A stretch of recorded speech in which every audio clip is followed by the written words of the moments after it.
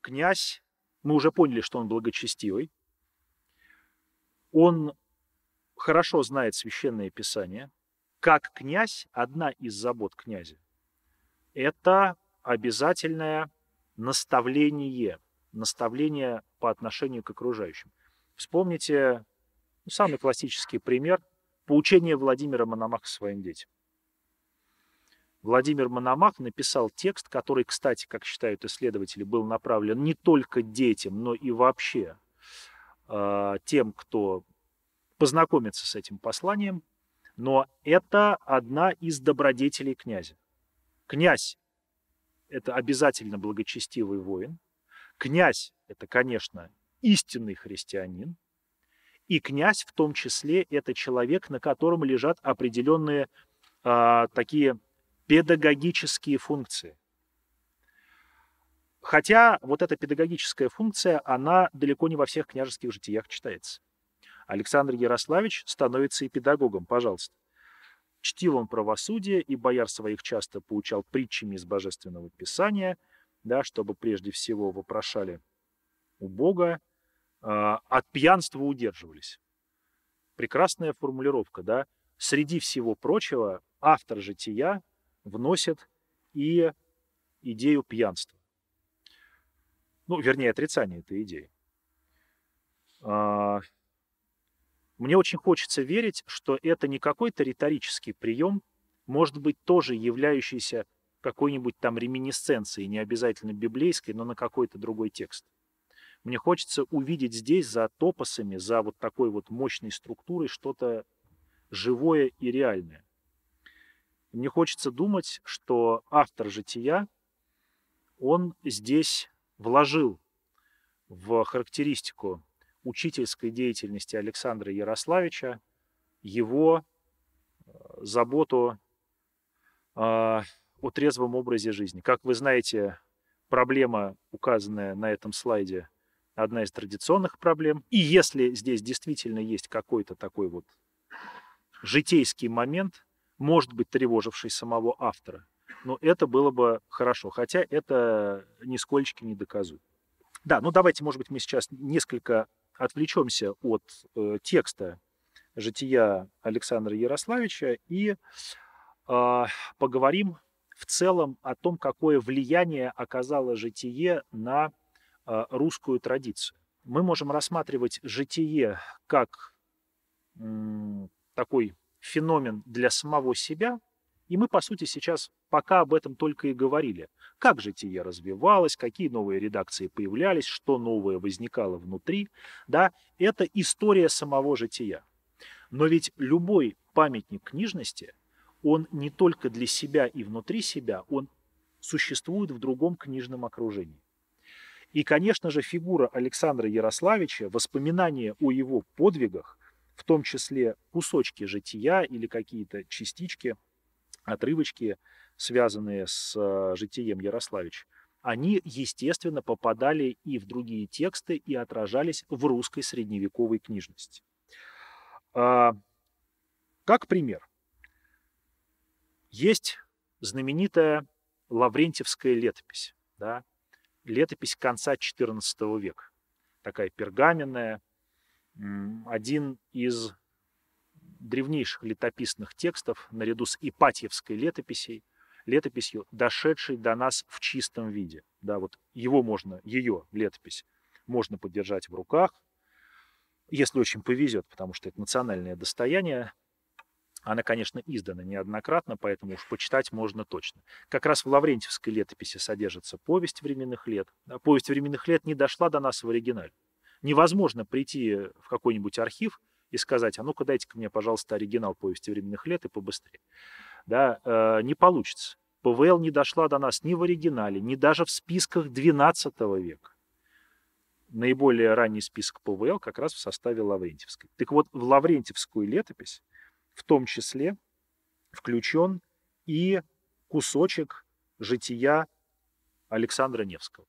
Лаврентьевская летопись происходила из северо-восточной Руси, из бывшей Владимира Суздальской Руси, а наряду с новгородской землей Владимира Суздальская земля – это один из центров почитания Александра Ярославича.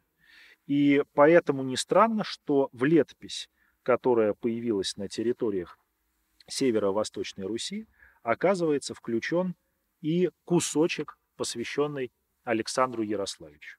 А вот, например, в Ипатьевской летописи, мной тоже упомянутой, также относящейся к концу XIV, ну, может быть, рубеж XIV-XV веков, тоже содержащий повесть временных лет, никакого жития Александра Ярославича нет. Потому что Ипатьевская летопись тяготеет к другой традиции. Традиции юго-западной Руси. И вот тут мы с вами, э, рассуждая житие Александра Ярославича, выходим на э, проблему святости в Средневековье. Вернее, не самой святости, а почитание святых. Это нам сейчас, казалось бы, понятно и не требует объяснений. Вот они, наши древнерусские святые. Сергий Радонежский, да, на земле которого мы находимся, Варлам Хутонский, Авраамий Смоленский. Для нас это все такие столпы русской святости. А были ли они столпами для всей русской земли в первое время, когда начиналось их почитание? Конечно, нет почитание их в первую очередь было сосредоточено в той земле, где они просияли своей святостью.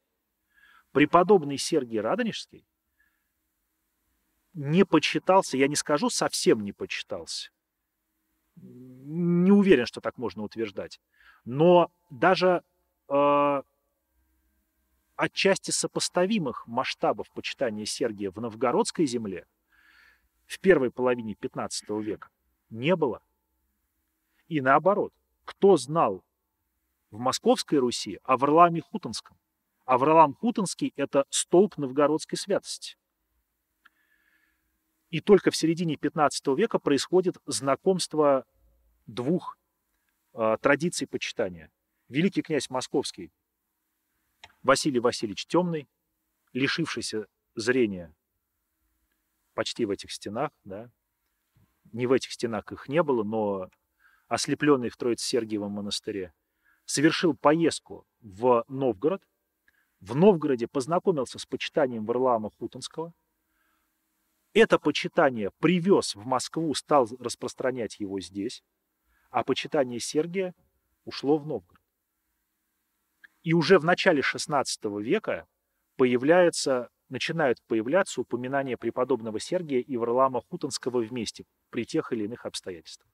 А Василий III, внук Василия Васильевича Темного, он примет иноческий постриг с именем Варлаам в честь Варлаама Хутинского. Да? Великий князь Московский принимает постриг в честь новгородского святого, но это уже другая эпоха. Это эпоха, когда закончилась централизация, закончилось объединение земель. А централизация была не только политической, она была и культурной, и духовной.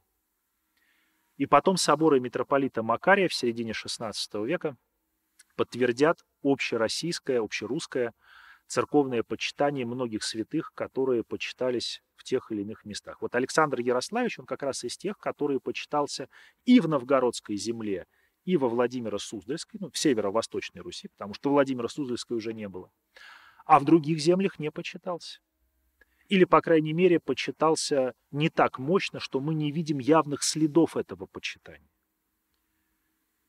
И это не значит, что мы обязательно, обращаясь к текстам до определенного периода, будем почитание Ярославича наблюдать. 15 век, да, то мы говорили немножечко о 14 15 столетие.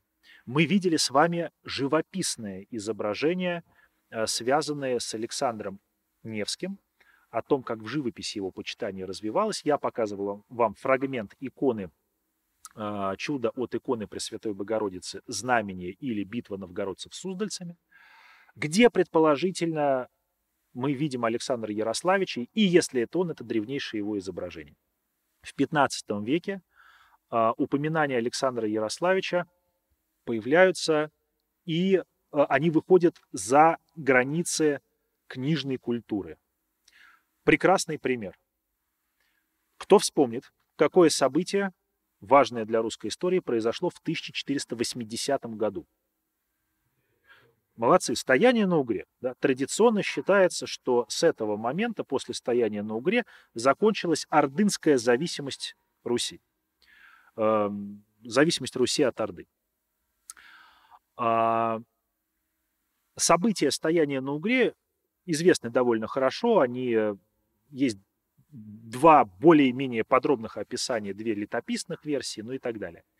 И есть памятники публицистические, которые создавались в момент этого события.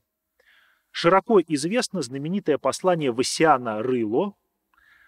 А, хорошее прозвище, да, тоже не рискую предполагать, откуда оно появилось.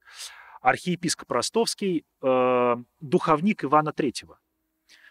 Он пишет ему большое послание, хотя сейчас некоторые исследователи считают, что оно только подписано именем Васяна, там был другой автор, но это не важно, это уже э, друг, другой разговор. Так вот, э, Васян Рыло пишет послание Ивану Третьему, призывает его стоять за все христианство, за русскую землю, и ссылается на авторитет прадеда Дмитрия Ивановича Донского. Вот как Дмитрий бил Мамая на Куликовом поле, вот так и тебе надо постоять. А еще одно послание на Угру отправляет митрополит Геронтий. Оно более лаконичное, такое менее пафосное, но оно тоже яркое, тоже содержит призыв Ивану Третьему не сдаваться. Видимо, Иван Третий струхнул.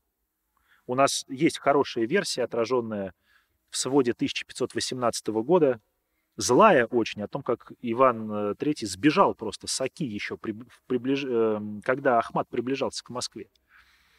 Его потом чуть ли не вытолкали из Москвы. Окружение, митрополит, эм, духовник вот вытолкали сражаться во всяком случае, наличие двух посланий, сохранившихся Ивану Третьему, позволяет предполагать, что внутренние терзания у Ивана были. Это мы сейчас смотрим отсюда. Вот он такой крутой Иван Третий, да, порвал грамоту. Есть такая байка, предание позднее. А, и, и вообще вел себя как выдающийся полководец и ничего не хотел платить, и плевал он на хана Ахмата. В реальности все было не так. И эти два послания показывают, что какое-то, как минимум, внутреннее колебание было у него большое, правильно ли он поступает. И вот в послании митрополита Геронтия на Угру упоминается Александр Невский. Геронтий приводит пример Александра Невского для Ивана III как пример выдающегося предка, пращура, на который нужно равняться и которому нужно следовать. И что если следовать этому примеру, то все будет хорошо, и это будет правильно с точки зрения митрополита Геронтия. А, то есть жизненный пример Александра Ярославича в 15 столетии, да, он осмысляется и как пример защитника, что мы видим на новгородской иконе, и как вдохновляющий пример, в том числе для великого князя, да, для уже далекого потомка Александра Ярославича.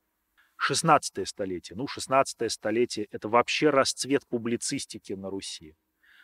А, один из выдающихся исследователей русской средневековой книжности назвал начало XVI века эпохой исторических размышлений, а следующий период, второй четверти середины XVI века, назвал временем споров. То есть сначала интеллектуалы, книжники, публицисты, они э, размышляли о том, что из себя стала представлять Русь. Что произошло э, с Великим княжеством Московским, что оно крепнет, расширяет свои пределы, добивается успехов, и все в нем хорошо. А во всех других православных странах все плохо. Византия та вообще погибла. Захватили ее, нету больше Византии. И пытаются найти ответ на этот вопрос книжники в начале XVI века. Находят, понимают, что русская земля, Великое княжество Московское, богоизбранное. Москва – новый Иерусалим. Москва – новый город Константина. Соответственно, Третий Рим тоже. Москва, Новый Киев. Москва, пуп земли, центр мира. Да? Поняли, решили. А вот в эпоху э, споров, в эпоху времени споров, ставится вопрос, а как жить в этом богоспасаемом государстве? Что делать? Кто виноват, еще не ставится. Это потом вопрос появится, да. Тоже извечный русский. А вопрос, что делать, как жить, ключевой вопрос для публицистики середины 16 столетия. И Александр Ярославич, его история, она очень здорово попадает в контекст эпохи. Я вот, к сожалению, уже сейчас, стоя на кафедре, понял, что пропустил один замечательный слайд, который у меня был, но я его в презентацию не поставил, а, в котором на основании всего лишь одного примера видно, какими новыми идеями обрастает личность Александра Ярославича в книжности XVI столетия. А, в том же самом лицевом летописном своде, да, что в предыдущих текстах, в предыдущих вариантах жития, в Никоновской летописи там, или в Степеной книге есть очень емкие, короткие формулировки, а, связанные с характеристикой его деяний. А в лицевом летописном своде список становится уже большим. А, появляются новые запросы и появляются новые реакции на Александра Ярославича. И это отражается в житии, как я уже сказал. Да, если в ранних редакциях жития Александр Ярославич, он э, сопоставляется с своими ближайшими предшественниками, то, например, в поздних редакциях в XVI веке Александр Ярославич э, пишется об этом, что он потомок Рюрика. Да? Вот в раннее время почему-то было неважно подчеркнуть, что он потомок Рюрика, а в XVI веке становится это важным подчеркнуть. Я сказал почему-то, но это вопрос риторический, я сейчас сам на него отвечу. А, кто такой Рюрик, объяснять не нужно. Все ясно, да. Все, по крайней мере, помнят э, о том, откуда есть пошла земля русская. Велика и обильна земля наша, а порядку в ней нет. Приди, княж нами тоже наполовину легендарная история, но неважно. Истори... В историчности Рюрика, кстати, большинство современных исследователей не сомневается. С Рюриком произошли метаморфозы. А Рюрик не очень-то почитался первыми русскими князьями. Долгое время именем Рюрика не называли князей, а когда стали называть, это были редкие случаи. Рюрик – крайне непопулярное имя в именословие э, князей Рюрикович. Хотя, казалось бы, родоначальник. Да, язычник, безусловно, но, э, тем не менее, долгое время существовала традиция двуименности князей. Князья на протяжении нескольких столетий получали сначала родовое имя языческое, Всеволод, да, владеющий всем, Ярополк, Ярослав, Владимир. И получали после крещения крестильное христианское.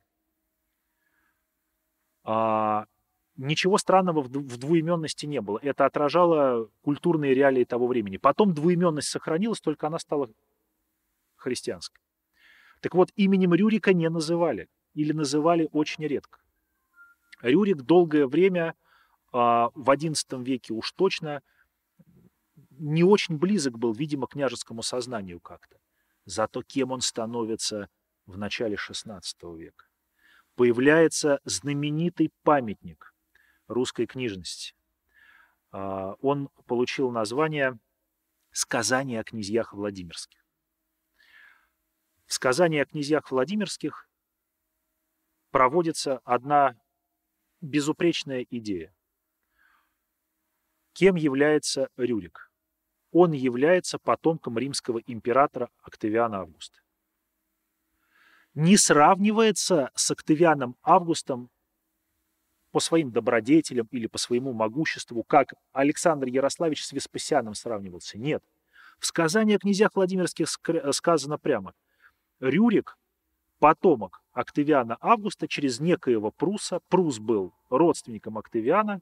От Октавиана был отправлен куда-то вот на север Европы.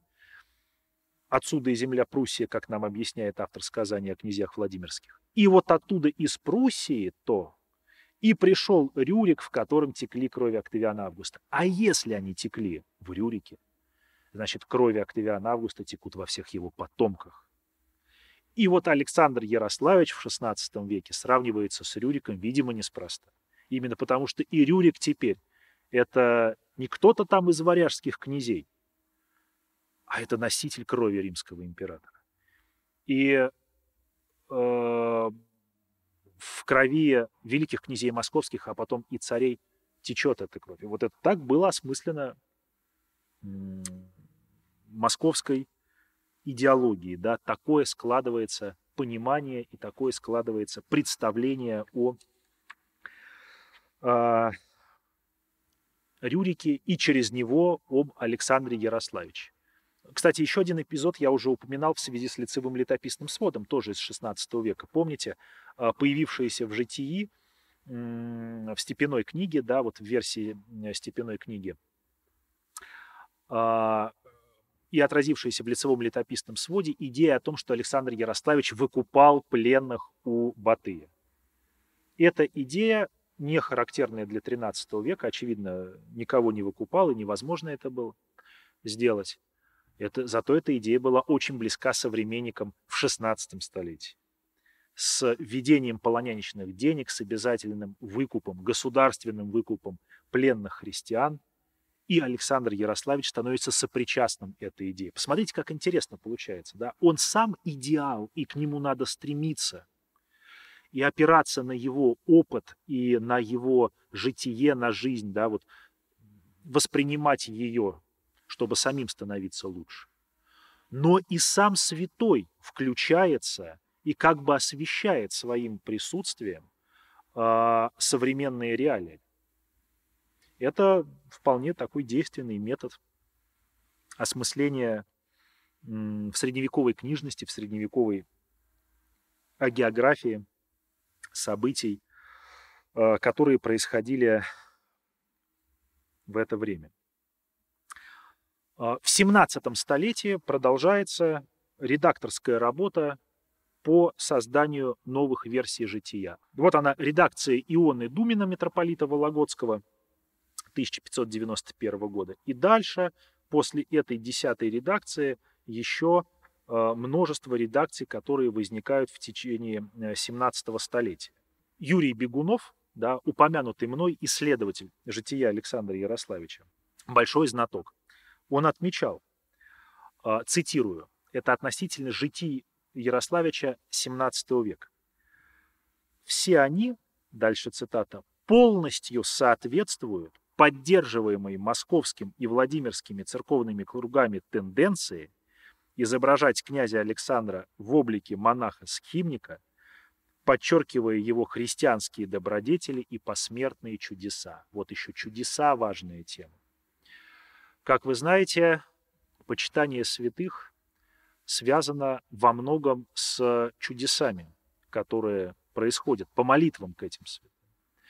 И множественные чудеса начинают фиксироваться э, от мощей Александра Ярославича или применительно к Александру Ярославичу, если ему с чистым сердцем и холодным умом молиться.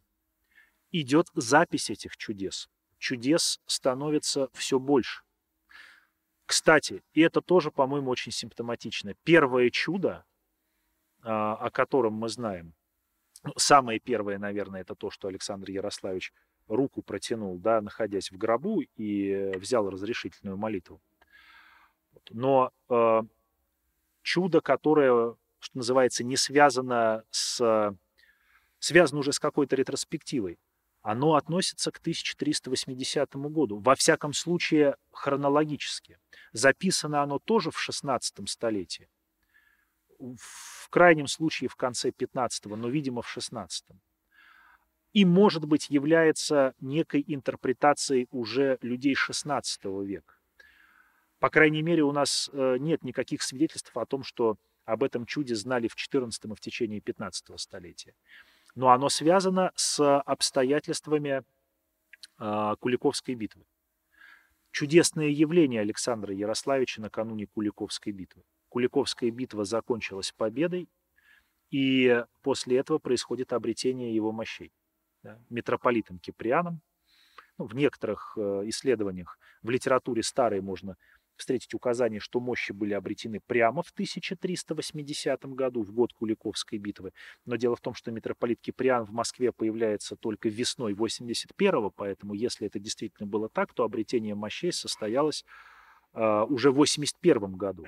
Неважно, было это чудо или не было на самом деле в 1380 году. Важно, что историческое сознание, историческая память XVI века считала возможным связать помощь Александра Ярославича э, христианам в битве против ордынцев в 1380 году. Это тоже вот тот контекст, в котором существует житие и существует память Ярославича. Да, ну и чудеса в 17 веке продолжают записываться. Э, этих чудес, в общем-то, не становится меньше. В 17 столетии Александр Ярославич, он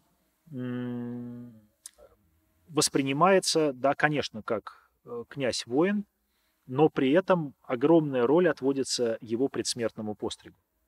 То, что он стал князем-схимником, принял предсмертный постриг, является добродетелью и является некоторым знаком, да, который был важен для допетровской эпохи.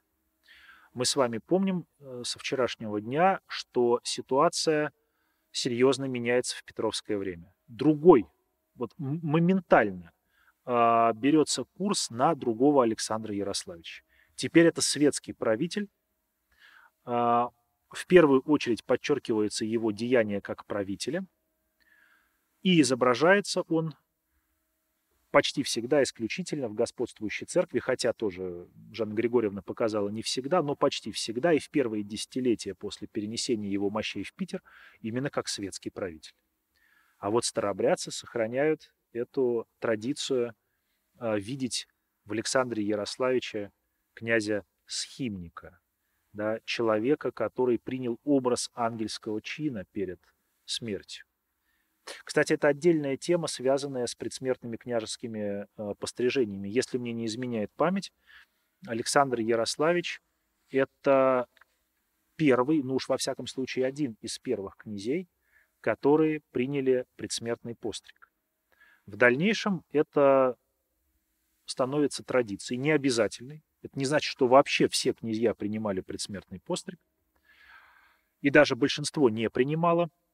Но э, мы видим, как этот почин Александра Ярославича сказывался э, на Рюриковичах в дальнейшем. А, это мы сейчас не будем касаться этого вопроса так подробно, потому что это связано тоже с, как, с каким-то представлением о религиозности, со спецификой мировоззрения и духовной культуры Средневековья. Но я бы вот на что хотел обратить внимание, что э, предсмертный постриг, он в княжеской среде, да, после, во времена после того, когда это было предпринято Александром Ярославичем, э, он, видимо, не всегда зависел от воли самого князя. Казалось бы, кто может противоречить князю? Князь, ого-го, величина. А, видели мы тоже с вами в житии, да, что почитание власти велико. Но при этом а, Василий Васильевич Темный хотел принять иноческий постриг накануне своей смерти. И, как пишет летописец, и не Даша ему в том воле. Хотел, а не стал. Непонятно, кто не дал ему воли? Духовник, митрополит, ближайшее окружение, жена, наконец. Непонятно. Но э, факт остается фактом, да. Князь хотел с точки зрения благочестия, видимо, это было серьезным актом, и почему-то ему запретили это делать. А, ну и в заключение я рассматриваю житие Александра Ярославича все-таки в книжности, которая тяготеет к русской средневековой, да, в рукописной или в старообрядческой, потому что, как недавно удачно написали составители 20-го тома библиотеки литературы Древней Руси, есть замечательная серия, 20-томная. В советское время выходили памятники литературы Древней Руси, потом уже э, в Новой России расширенное вышло издание библиотеки литературы Древней Руси. И вот 20-й том посвящен старообрядческой литературе. И в предисловии составители пишут, ну, казалось бы, старообрядческая литература, да, а, это есть труды ранних старообрядцев 17 века, а потом это 18-19 века. Какой же, какая же Древняя Русь? Но они совершенно правильно указали, что это Древняя Русь после Древней Руси. Старообрядцы несут в себе идеал Древней Руси. И вот я, рассматривая э, житийную историю, да, я сосредоточен именно на древнерусской традиции, на книжной традиции. Это не значит, что житие Александра Ярославича, и вот мы видели эту таблицу, видим ее сейчас, что э, прекратилось, да, 1 э, января 1801 года все, да, перестало выходить житие, перестали читать, оно куда-то исчезло, конечно, нет, вовсе нет. И печаталось, и выходило, и почитание Александра Невского только ширилось и становилось больше. Но именно вот книжная, рукописная традиция, она э, сходит на нет. Спасибо за внимание. Я на этом заканчиваю. Всего доброго.